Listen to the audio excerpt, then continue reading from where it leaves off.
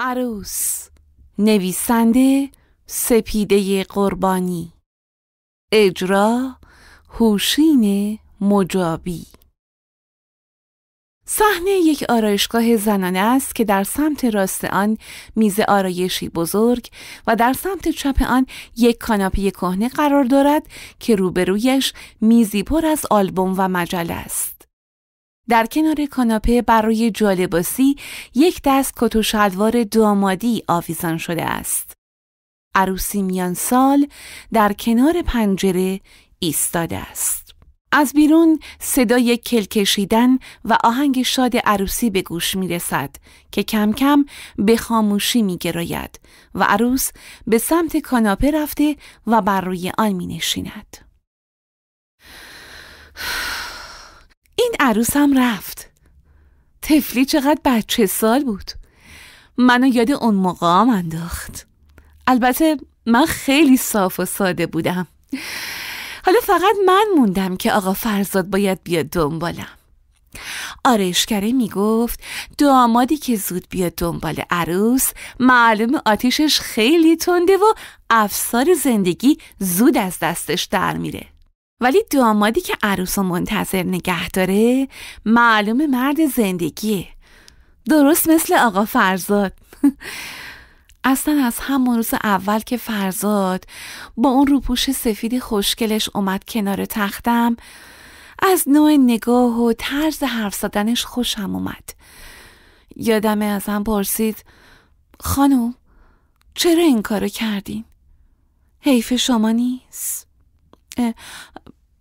ببینم. راستی شما که فکر نمی کنید قیافه من خسته و گرفته است. آخه اعظم دوستم صبح به من یه آرام بخش داد. البته شایدم دو تا یا چهار تا اصلا نمی‌دونم. اصلا نمی‌دونم چند تا. فقط گفت بخور ریلکس بشی. می‌دونید من و ازم از همون دوران دبیرستان همیشه به یه همچی شبی فکر می‌کردیم ازم که می‌گفت من یه شوهر پولدار می‌خوام. چون من اصلا حوصله زندگی نکبتی مثل مال خودمون رو ندارم. اما نظر من با اعظم فرق داشت. من می‌خواستم که یکی منو خیلی دوست داشته باشه. اعظم تو حالا پای عقیدش وایستاده و میگه همه دلخوشی من تو زندگی پرنده همه. شوهر می‌خوام چیکار؟ اما من باور نمی کنم می‌دونید فرزاد گفت تا من بیام سر خودتو با یه چیزی گرم کن. من همیشه عاشق مجله های مد و آلبوم های عروس بودم. این آلبوم روی میز چی کار می‌کنه؟ اینکه آلبوم من و اعظمه. آخه می‌دونید من و اعظم از خیلی سال پیش هر سال یه لباس عروس امانت می‌گرفتیم و باهاش عکس مینداختیم و زیرش رو تاریخ می‌زدیم. تا بعدا یادمون بیاد که اگه اون سال عروس می‌شدیم چه شکلی می‌شدیم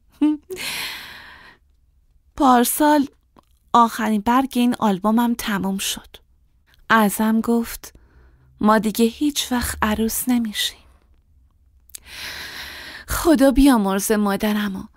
با چه حسرتی می‌گفت مهی من خیلی دلم می‌خواد تو رو تو لباس عروسی ببینم. حیف خدا بیامرزدش. این روزو ندید. می‌دونید اولین خواستگاری من تو وضعیت قرمز اتفاق افتاد. یعنی تو اون حال و ولا. الهام دختر همسایه بالایمون به هم گفت که منو برای داداش مرتزاشون که رفته جبهه در نظر گرفته. منم که اون موقع 16 سال بیشتر نداشتم یه هفته تموم برای خودم خیال پردازی های عاشقونه می کردم اما آخر هفته خبر شهادت مرتزا اومد و جیغ و دودای الهام و مادرش همه رویاهامو خراب کرد. ای بابا این فرزا چرا گوشیشو جواب نمیده؟ جدی جدی خیلی دیر کرده ها. نکنه می‌خواد. نه نه من نباید فکر روی بد بکنم. لابد می‌خواد قافل گیرم کنه. آره داشتم می‌گفتم. من و ازم دیپلم که گرفتیم خب دانشگاه که قبول نشدیم به جاش رفتیم کلاس خیاطی. یه روز ازم گفت مهین دور زمانه عوض شده. دیگه کسی نمیاد دختر از کنج خونه بگیره. اگه می‌خوای شوهر خوب گیرت بیاد باید تو اجتماع بچرخی و با آدما دمخور بشی. خلاصه. دنباله همین حرفا بود که یه روز من و اعظم کلاس خیاطی و پیچوندیم و همچی بگینگی به سر و وزمون رسیدیم و تصمیم گرفتیم اتو بزنیم. آره خلاصه تا یه ماشین حسابی جلو پامون وایستاد سوار شدیم. راننده که خیلی مرد با شخصیتی بود خیلی رسمی و با احترام از ما پرسید خانوما کجا میرن؟ که ازم جواب داد هیچی می‌خواستیم یه کمی تو خیابونا بچرخیم. آقا یه کمی که گذشت یه دفعه سرعت ماشین رفت بالا و بعد راننده تو یه فرعی نگه داشت. بعدم کارتش رو به نشون داد و از ما خواست پیاده شیم. دیگه چی بگم؟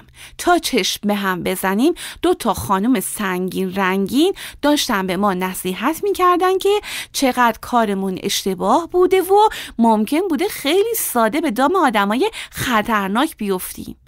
از پدر و مادرمونم تعهد گرفتن که دیگه دست به این کارا نزنیم.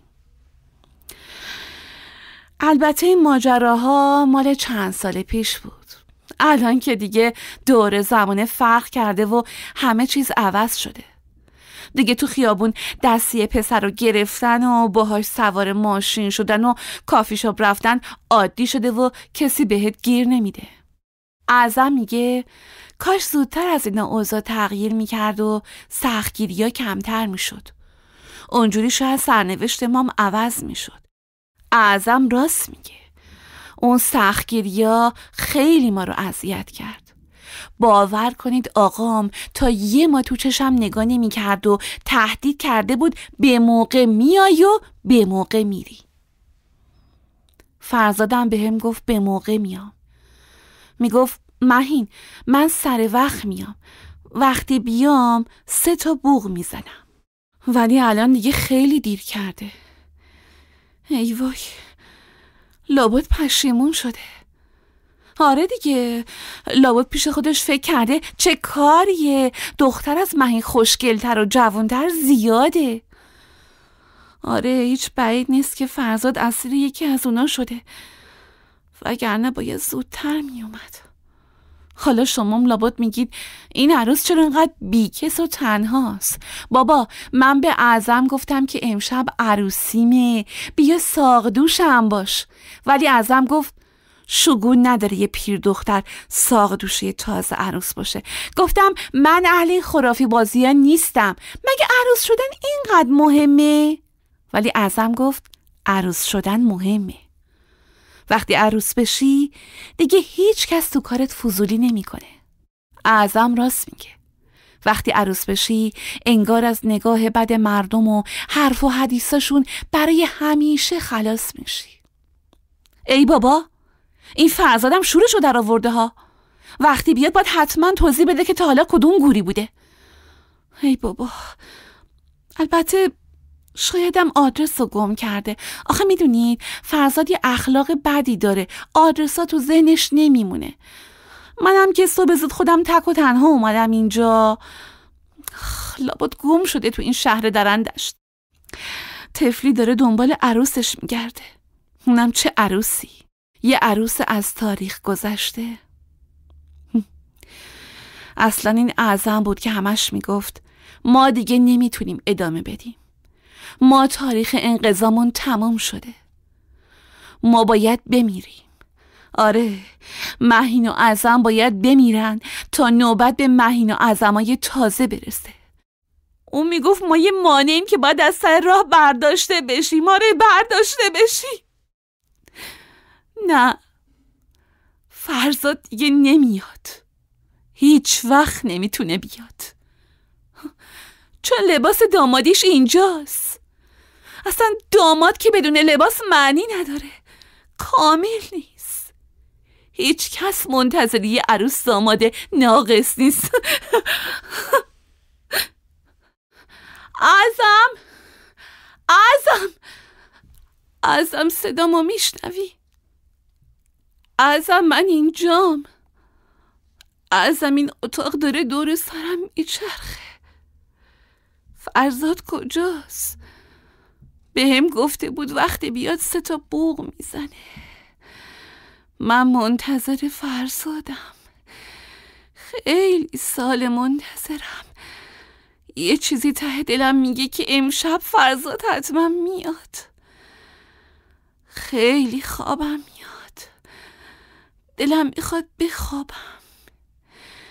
یه خواب طولانی و آروم. وقتی فرزاد اومد حتما بیدارم کنید مهین بر روی کاناپه دراز می کشد و تور سفید خود را مانند ملافهی بر سر می کشد. او از دور مانند جنازهی در گوشه اتاق آرام گرفته است.